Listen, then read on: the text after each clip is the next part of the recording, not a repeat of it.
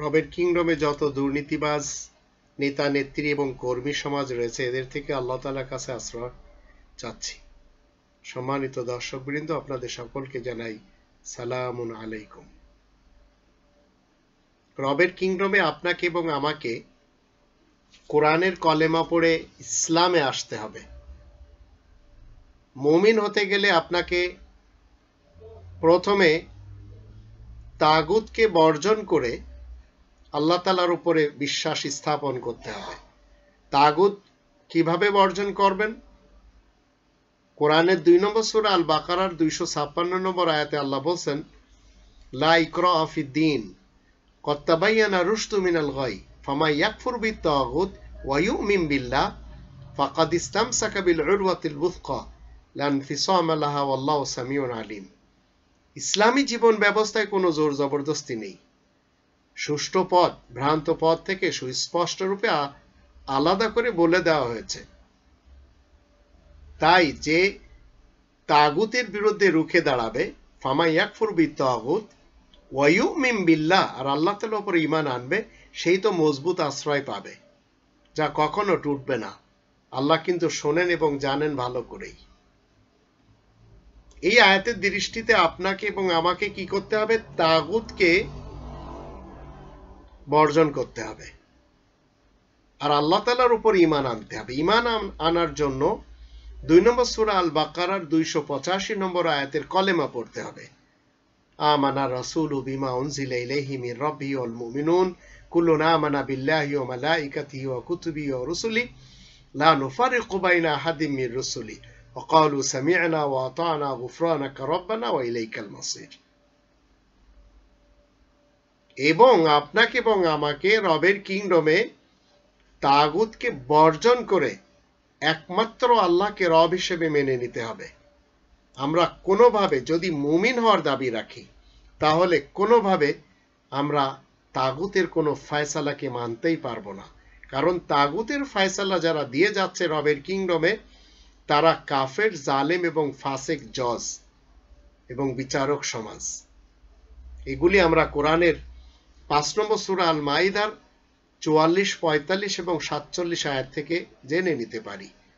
আল্লাহ বসেন ইয়াহকুম বিমা আনজালাল্লাহ ফাউলা ইকুমুল কাফিরুন ফাউলা ইকুমুল জালিমুন ফাউলা ইকুমুল ফাসিকুন। আল্লাহ তালার এই বিধান মতে যারা বিচার কার্য সম্পাদন করে না, তারাই তো জালিম, ফাসেক এবং কাফের বিচারক সমাজ। কারণ তারা যে বিচার পদ্ধতি মেনে নিয়েছে, সেটি আমাদেরকে অস্বীকার করতে হবে। চার নম্বর সোরা আর নিসা এই ষাট নম্বর আয়াতে আল্লাহ বলছেন, তুমি কি তাদেরকে দেখনি যারা দাবি করছে তোমার কাছে যা নাজিল হয়েছে আর তোমার আগেও যা নাজিল হয়েছে, এসবে তারা আস্থাবান? অথচ তারা নিজেদের সমস্যাদি নিয়ে শায়তানি চক্রের, তাগুতের তথা কোরআন বিরোধী আইনের কাছে যায় সমাধানের জন্য। ইউরিদুন আইয়াতা হাকামু ইলা তাগুত ওয়াকাদুমিরু আইয়াকফুরু বিহি কিন্তু তা যেই কোরআনের মাধ্যম দিয়ে বলে দেওয়া হয়েছে, হুকুম দেওয়া হয়েছে, অমান্য করতে। আসলে শয়তান ওদেরকে বিভ্রান্ত করে দূরেই সরিয়ে নিতে চায়। এখন চিন্তা করুন আপনি, যখন আমাদের দেশে আজ দুই হাজার বিশ সালে যদি ভোট ডাকাত সরকারকে, খুনি সরকারকে আপনি সাপোর্ট করেন, তাহলে আপনি হচ্ছেন তাগুতের অনুসারী। তো তাগুতের অনুসারীরা কি করছে? দেশকে শেষ করে দিয়েছে। এই তাগুত সবসময় এমন মৌলবাদকে সাথে রাখে, যাদের অধীনে জনগণ থাকে। আর এই মৌলবী সমাজ কি করে? তারা ছোট ছোট কিছু দোয়াদরুদ শিক্ষা দিয়ে বলে, এগুলো পড়তে পারলে জান্নাত পেয়ে যাবে। তো জান্নাতের লোভ তো সকলেরই রয়েছে। কিন্তু তাগুতের অধীনে থেকে আপনি যখন নিজ নিজ প্ল্যাটফর্ম তৈরি করে নিয়ে মনে করবেন আপনি জান্নাতে যাবেন, পারবেন না। আপনাকে রব হিসেবে মানতে হবে আল্লাহকে, আর আল্লাহ তালার বিধানের সাথে অন্য কোনো বিধানকে শরিক করলে আপনি, আমি মুশ্রিক হয়ে যাব। আল্লাহ তালার বিধানের সাথে শরিক চলে না। তাই তো কোরআনের আঠারো নম্বর সুরা আল কাহাফের ছাব্বিশ নম্বর আয়াতে বলা হচ্ছে, আল্লাহ তালার হুকুমে শরিক চলে না। আর এই সুরার একশো দশ নম্বর আয়াতে বলা হচ্ছে, আল্লাহ তালার ইবাদতে শরিক করা যাবে না। এখন আল্লাহকে, আপনাকে এবং আমাকে কীভাবে মানতে হবে? এই জন্য আমরা কোরআনের দুই নম্বর সুরাল বাকারা এর দুইশো সাতান্ন আয়াতে দেখে নিতে পারি। আল্লাহ বলছেন, আল্লাহ আলিউল্লাদিন আমানু যুলুমাতি ইলান নূর।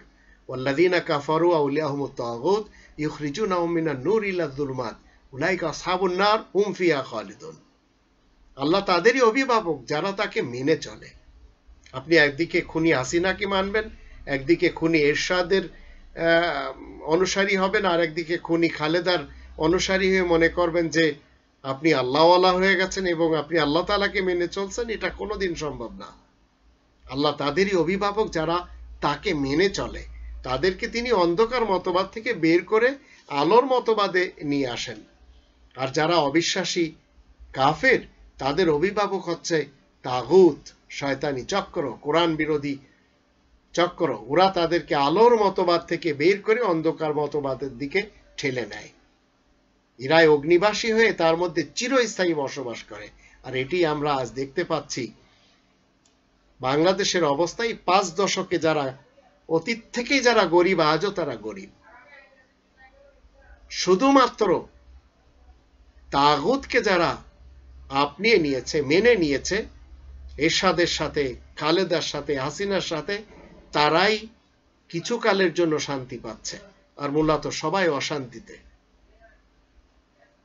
এখন তাগুত মেনে নিলে কি হবে? কিছু কালের জন্য আপনি শান্তি পাবেন। কিন্তু এই পৃথিবীতে আপনাকে এবং আমাকে কি এই জন্যই পাঠানো হয়েছে যে আপনি তাগুতের অনুসারী হয়ে জীবন কাটান? আজ বিশ্বাস করেন, দুই সালের এই বাংলাদেশ চলে গেছে বড় তাগুতের হাতে, দিল্লির অধীনে। খুনি হাসিনার কথা দেশের কেউ শুনছে না।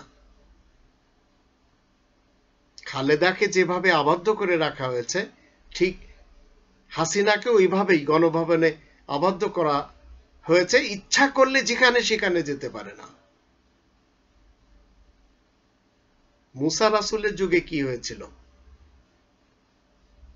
কিছু অফিসার এবং কিছু মোল্লা ফিরাউনের সাথে দিয়ে তারা কি করেছে? কোরআনের পথ থেকে মানুষকে বাধা প্রদান করেছে।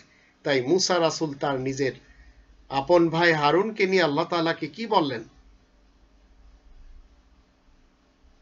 আসুন আমরা একটু দেখে নি এই কোরআনের দশ নম্বর সোরা ইউনুসের আঠাশি নম্বর আয়াতে আল্লাহ কি বলছেন وقال موسى ربنا إنك أتيت فرعون وملأه زينة وأموالا في الحياة الدنيا ربنا ليضلوا عن سبيلك ربنا اطمس على أموالهم واشدد على قلوبهم فلا يؤمنوا حتى يروا العذاب الأليم উননব্বই আতে বলা কদ তাত্তাবিআনি লা ইয়ালামুন।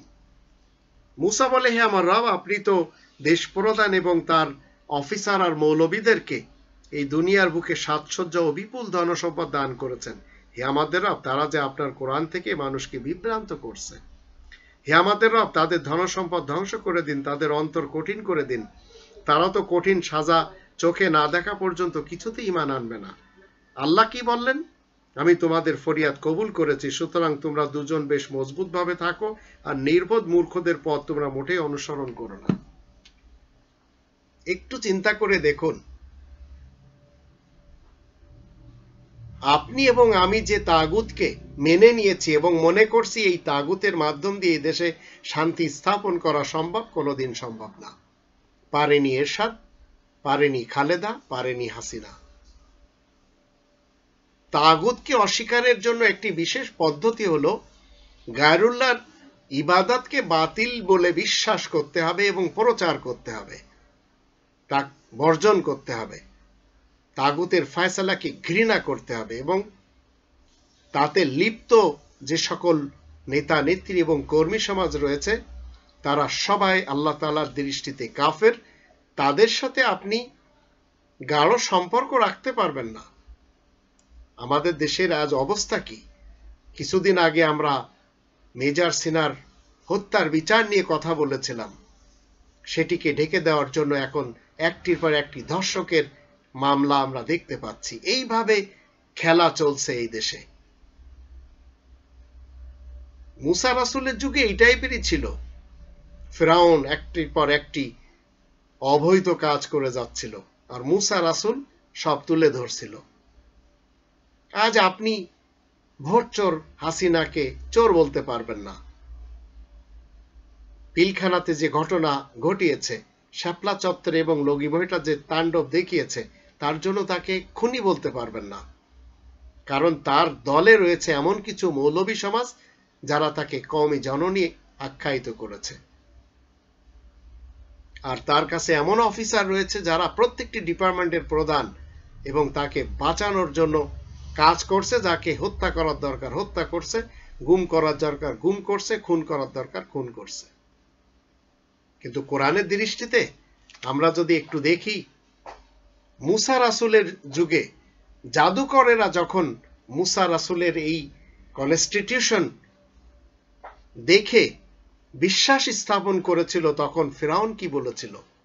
ফেরাউন বলেছিল, আমরা যদি সাত নম্বর সুরা আল আরাফের একশো বিশ থেকে নিয়ে একশো ছাব্বিশ আয়াতগুলি দেখি, সেখানে বলা হচ্ছে, সমবেত জাদুকরেরা মাথা নত করতে লাগে।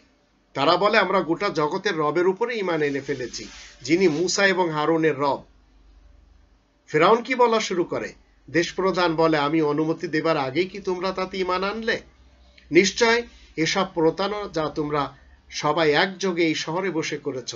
এভাবে তোমরা নগরবাসী সবাইকে এখান থেকে তাড়িয়ে দিতে চাও। আচ্ছা তাহলে তোমরা শীঘ্রই টের পাবে। তোমাদের হস্তপদে বিপরীত দিকে বেড়ি পরিয়ে দিব। তারপর তোমাদের সবাইকে শুলে চড়াবো। তারা বলে, আমরা তো আমাদের রবের কাছে ফেরত যাব। এছাড়া আর কি নিয়ে তুমি আমাদেরকে শাস্তি দিবে? আমাদের রবের নিদর্শন যখন আমরা কাছে, আমাদের কাছে এসে গেছে, তখন আমরা তাতে ইমান এনেছি। হে আমাদের রব, আপনি আমাদেরকে ধৈর্য এবং মনোবল দান করুন। আর মুসলিম রূপে আমাদেরকে মৃত্যু দান করুন। আল্লাহ তালার এই যে প্রার্থনা করলেন, আল্লাহ তালা এই অধিবাসীদেরকে কি বললেন? মহাবিজয়ী। আজ আমি হাসিনাকে খুনি কেন বলছি? মানুষ খুন করেছে। আজ কেন তাকে চোর বলছি? কারণ ভোট চুরি করেছে। জনগণের অধিকার হরণ করেছে। তদ্রূপ করেছিল, মানুষ খুন করেছিল খালেদা, খুনি খালেদা। আবার মানুষ খুন করেছিল খুনি এরশাদ। তো এদেরকে আপনি কি মুসলিম বলবেন? খুনিদেরকে খুনি বলুন। আমরা যদি সেই যুবকদের কথা একটু কোরআন থেকে জেনে নিই, যে যুবকেরা গুহার ভিতরে তারা লুকিয়েছিল, নিজেদের পরিচয় গোপন রেখেছিল আবার যখন জাগ্রত হয়, তখন খাবারের জন্য তারা একজনকে বাইরে পাঠায় কিছু টাকা দিয়ে।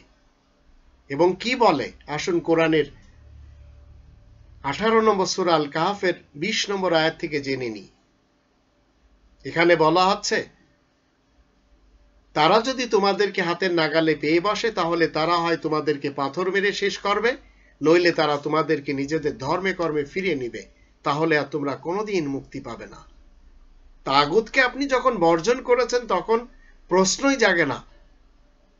তাদের অনুসারী হয়ে তাদের সাথে জোট বেঁধে আপনি জীবন কাটাবেন। আপনার উপরে জুলুম নির্যাতন আসতেই পারে, কারণ অতীতেও এসেছে। তো জান্নাত যদি আপনি, আমি চাই, তাহলে আপনাকে সত্যকে সত্য বলতে হবে, মিথ্যাকে মিথ্যা বলতে হবে, খুনিকে খুনি বলতে হবে, চোরকে চোর বলতে হবে, ডাকাতকে ডাকাত বলতে হবে। দর্শককে দর্শক বলতে হবে। এখন আপনি যদি খুনি হাসিনার ভয় এই পৃথিবীতে সত্য প্রচারই বন্ধ করে দেন, তাহলে পরকালে আপনাকে জবাব দিতে হবে, এর জন্য আপনি তৈরি নিন। আল্লাহ আমাদের সবাইকে তৌফিক দান করুন, আমরা যেন সদা সত্য কথা বলতে পারি।